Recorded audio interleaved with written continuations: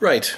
Um, we're now turning to chapter 5, and uh, this is the last of the chapters that we're going to be dealing with sort of theoretical concepts. And the um, from here on out, we're going to, uh, well, chapters 6 and 7, uh, we'll be looking at some evidence from other primates, our closest living relatives. Uh, and and we'll and we'll take a look at uh, why we we try make those observations of other living primates. We'll talk a little bit about those in the next chapters.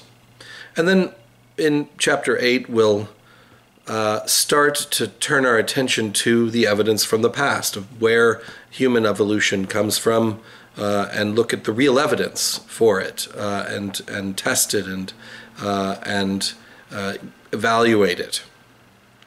Uh, before we do that, of course, in chapter 8, though, we have to sort of uh, understand the tools of how we can look into the past. So we'll look a little more depth, in depth into the archaeological process and the physical anthropological process and, and what, uh, what scientists that observe the past and human evolution are, are looking for and how they're doing what they do. But before we move on, um, we've looked now at the history of of the discipline of, of human evolution, where that those ideas come from. Uh, we've looked at science as a process. Uh, we looked at uh, Charles Darwin's um, concept of, of natural selection and Gregor Mendel's discovery of independent assortment, which gave us the foundation for genetics and natural selection and genetics uh, together uh, equals the what we call the evolutionary synthesis, and that's that's really what evolution is. It's not just what Darwin taught us, but also uh, there's some gaps that were left by uh, Darwin's idea, um, and those were filled in with with genes. So we looked at what genes are, uh, what what is life, uh, and how does it function? How does it reproduce? Because natural selection is working to select organisms that reproduce and pass on those genes into the next generation. That's really the way it works.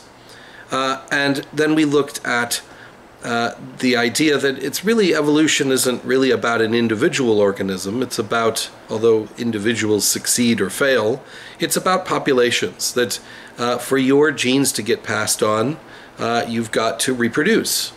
And to do that, you've got to uh, interact with the population. And so there's all sorts of factors that are both statistical and physical uh, that go into um, the processes of, of someone living their lives uh, and passing on their genes. But we hinted at the end of last chapter that it's not the, just the genes that uh, are expressed in a physical body. What I mean by that is that your genes are your blueprint. They're they're, they're your starting point uh, for who you become. But what you actually become is dependent on environmental factors. So we've been talking about how natural selection works on variety in a population. If everyone is the same, if everyone is a, a clone of one another, an, a, a, an adaptation for success is great for everybody. But if those conditions change and everybody is exactly the same, natural selection has only one selection to make, and that is to wipe everybody out. So that's not a very successful strategy. Uh, you don't have to be devising or looking into the future, animals, most animals don't think about, you know, their their uh, their futures. It's just that if an organism is successful, you'll see those genes again. It's as simple as that. And if they're not successful, you will not see those genes again. So it's sort of a self-fulfilling uh, principle in that sense that natural selection uh, is really just about do you survive or do you not? But what survives? The genes are what gets passed down, but the genes are imperfectly formed in individual organisms. And we saw a little bit of the way that that takes place last chapter. uh, that, um, but we're going to look more in depth into environmental factors in growth and development. That you started out as a single-celled organism. You started out as uh, a an egg and uh, sperm came together, and each had 23 chromosomes. They came together, and for most of us, that makes us uh, have 46 chromosomes, which is the normal human number. So you started out as one cell that had 46 chromosomes, and then that cell replicated itself. It, it, duplicated, and then that those duplicated, and those duplicated to create you. But that whole process of duplicating has a chaotic world around it. It has a lot of environmental pressures and uh, and um, expectations. That we talked a little bit about how the cells create the building blocks for making you. So your bones are sort of like a scaffolding that keeps your body up. Your, your DNA tells your cells to create that scaffolding. But you've got to have the raw materials for it. You can't just conjure it up out of thin air. You've got to have things like calcium. And calcium is the hard part of your bone. It's, uh, it's a mineral, and your body uses that mineral to create a, a, a, a, a substructure for you that keeps you up and you attaches to muscles and moves you around. Those muscles, those bones, those uh, processes then allow you to go and get more nutrition to th do things like power your brain and see things and talk and listen all of these things are processes that your body uh, is either successful at implementing or not. And uh, we're going to we're going to look at the processes that uh, uh the factors that go into building a body, and that also creates variety. So, a identical twin brother or sister that you might have has the ex- identical DNA of you. Right? So if you have an identical twin, anyone who has an identical twin has is has the exact same DNA as their identical sibling. But if you've never known uh, identical twins, you know that they don't end up being identical people. Uh, and there's all sorts of factors that can make them slightly or even majorly different from one another. Different heights, different weights, uh, different, different. Uh, um, you know, some might lose their hair, the other sibling might not. Uh, there's all sorts of factors uh, that go into developing a body from that b- blueprint that can lead things into into different uh, results, and that also is variety that evolution is acting upon. So natural selection has more things to select. And so getting all of these elements in the right places at the right times uh, is also part of the evolutionary process because whoever's successful in creating a healthy body that can reproduce, those are going to be likelier to have their genes passed on uh, in the future. So, hate to say it, some of it just boils down to luck. You may have great genes, but if if you're uh, outcompeted or you get unlucky if you're standing under some cliff face and a, and a rock falls on your head. Great genes, tough luck. You're out of the picture. Your genes aren't going to get passed on. That's part of nature too. It's just simply random chance. That also takes place. Now, one of the reasons why this is an important chapter is because when we're talking about humans, we don't think of ourselves, we think of ourselves as having a lot of differences amongst ourselves. Um, it's it's a, an important part of who we are. We have identities. We uh, we have groups that we belong to. This is a whole other branch of anthropology called cultural anthropology. Um, that looks at different cultures and organizations and the way that we uh, conceive of ourselves. So uh, that is a, an important element of being a human. But because this is a physical anthropology class, we're we're trying to look at this from a physical standpoint. I've already said before that race is a non concept in biology, at least for humans, that we, there is only one race of humans, that's the human race. And the words that we use for um, for uh, the the typical races are actually cultural constructs. These are things that we just decided that that's what, how we were going to divide ourselves up. Biology has nothing to do with it at all. In fact, we talked a little bit about that in the sense that gene flow has been keeping us together. That we're not speciating. Uh, we are we're actually interbreeding with one or, one another enough, and it, in fact. Um, uh, and we'll talk about the sort of the history of, of racism, and uh, I would I would get into this in more depth uh, the history of how we came up with the cultural concept of race if we were in a cultural anthropology class. But um, let me distill this into a, a, a, one example. We, when you tend to think of races, you tend to think of skin color. Let's face it, that's really the um, the the major factor um, that we use. We just we make we make a superficial observation of somebody, and we we make cultural assumptions about that person, and it's the usually the easiest characteristics, that is to say, skin tone. How dark or how light is your pigmentation? It's a bit unfair because, um, first of all, skin pigmentation can change, right? So, what if you have a tan? Uh, I would have. I don't. I don't tan. I just turn different shades of pink. But um, but some people get very very tanned, and some people uh, are actually their baseline is uh, is is a darker skin tone. That even not being in the sun, there is uh, they come from ancestry that uh, that had parents who were darker uh, skin tone. Where does that come from? We're going to look at that. Um, the the the reasons for why we have differences, right? Why are humans different? Where does that come from? If our genes are all mixing together, where is our where's our variety come from? It can't all be just genes.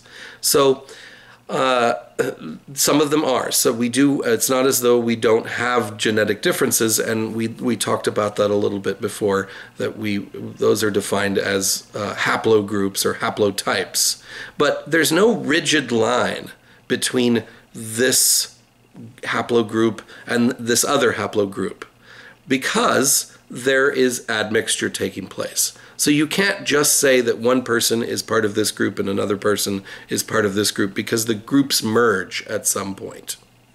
So it's a fall off effect. It's not really a stark line or a box that you're putting people into.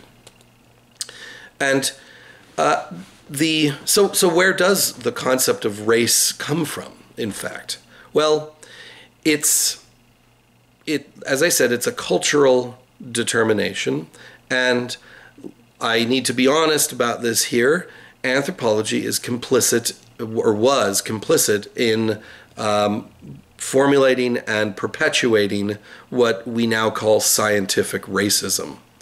Um, in the 19th century, when anthropology was new and being sort of established as a discipline, uh, Europeans and Americans uh, in universities were interested in the variety of people. And so uh, typically, what you got were people leaving their own cultures, their own cultures, cultures and going off into far flung places around the world, uh, studying cultures that they were unfamiliar with. And these were often in places that were colonies of Europe. Um, a colony is essentially a colonizer coming in saying, I'm in charge now, I own all this stuff, and you work for me. Um, now, that's kind of unfair. Uh, I'm, I'm really simplifying this whole situation, of course, but that's unfair. So, rationalizing an unfair situation for colonization or things like the institution of slavery, where you're actually taking people and treating them as property to empower your economy is something that didn't sit well with people that actually had uh, time to think about it anthropologists uh, observed uh, different cultures that their um, you know the Western European and, and American cultures were observing through anthropology, and they saw them as different. And one of those differences was they look different than me. So there was an attempt to classify and place boxes around people. And so uh, Africans were a group of people that were largely colonized by Europeans. Um, the the countries that exist today uh, were sliced and diced and chopped up and made into nation states in the form of European countries. Same thing goes for Asia. Australia was colonized on as a whole, and um, the Europeans that were categorizing geographical areas were also categorizing the people that were in those colonies that they had taken over but they weren't they didn't see them as themselves. They saw them as property or as um, as some other form of humanity maybe not fully like them maybe not good enough for them. And uh, a the standard practice was to just say okay well those are races. Those are different people. Those aren't us. Why are why are we in charge? Well because we're we have light complexion and that is uh, that is justifies the dominance of one group of people over another and uh, uh, scholars like Blumenbach uh, established that there were five basic races uh, five basic racial categories. And once again, uh, you've heard about uh, Franz Boas before, talked about him, sort of the founding father of American anthropology, who brought science and a little bit of rigorous discipline into this into the subject.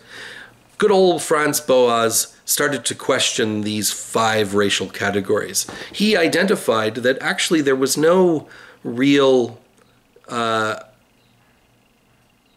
there was a continuum between cultures. He recognized that there was admixture. Uh, he wasn't really thinking about it in genetic terms, but he was thinking about it in cultural terms that no group is an island, that they all have neighbors, and those neighbors have neighbors, and those neighbors have neighbors. So he didn't see that the global cultures were entirely isolated from one another. So he asked a basic question. If there's five racial categories, he said, what about those groups of people? Oh, how do you define them? For science, for it to be science, you've got to have really clear definitions.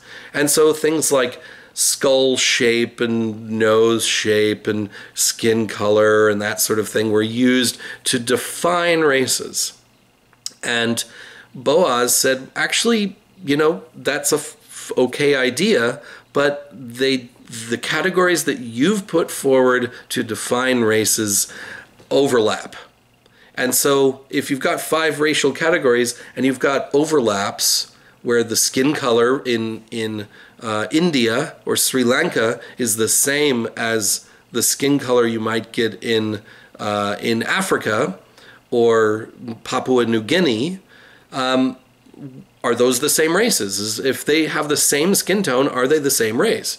And so people are like, no, okay, maybe you have different combinations of factors, and uh, it all started to fall apart, especially with the overlaps, because what Boas would say is that actually, no, these categories aren't stark lines where there's a separation. They overlap with one another. There's a continuum. And so people started to fill in those, those overlaps by having another category. So five racial categories became 15 racial categories. And then 15 racial categories became 30 racial categories. And 30 racial categories became 60 racial categories until it became absurd. And eventually, Boas challenging this model of trying to box people into biological different units as humans started to fall apart. Um, and so anthropology was complicit in perpetuating scientific racism, but to be uh, totally fair, anthropology was also responsible for taking that mistake apart and breaking it down into something that actually makes more scientific sense, which is to say, there is one single race. This has been tested. Uh, Boas's challenge has been tested uh, after we started to get the human genome as well, because scientifically, if here's a hypothesis, if um, biological or genetic variation follows these racial categories, right? Then you would expect there to be a lot of racial similarities within that group and big, uh, sorry, genetic uh, similarities within that group. So let's say um, my own Irish and German ancestry, you would expect to see a, a tight cluster of genes for Irish and or German ancestry, right? That's that was would be what you would expect if that's a biological thing. And you would expect to see very stark differences between those racial categories and another racial category. So, Southeast Asian, right? So, Northern European and Southeast Asian should be very, very different. As it turns out, there's more genetic and human variation within these groups than there are between the groups, which verifies that Boas was correct in destroying these racial categories anthropologically. That doesn't mean that we don't use them culturally. When you take when you fill in your census, you're going to be asked what your race is. Um, I and uh, I could go on about th- that uh, particular uh, thing, but that's a cultural decision. Uh, that's not a biological um, uh, imperative. It's not a, a, biological factor. So we talked about uh, clines and geographical clusters, and so human human diversity actually does have uh, meaningful characteristics when you think of it in as gradual change, but it has more to do with the environment than it does to do with genetics. So it's, in other words, if you live in particular environmental factors, your success or failure in that environment is going to be down to the adaptations that you have for that to work. As we've seen before, adaptations are neither good nor bad, right? Uh, a, a, an albino crocodile is going to fail because it can't sneak up on its prey. But an albino rabbit in a in the Arctic is going to succeed because they're hidden. So it, it all boils down to what is the environment you, you are in, and a lot of human variation that we see superficially, things like skin color, are, are the result of phenotypic, not genotypic, but phenotypic adaptations uh,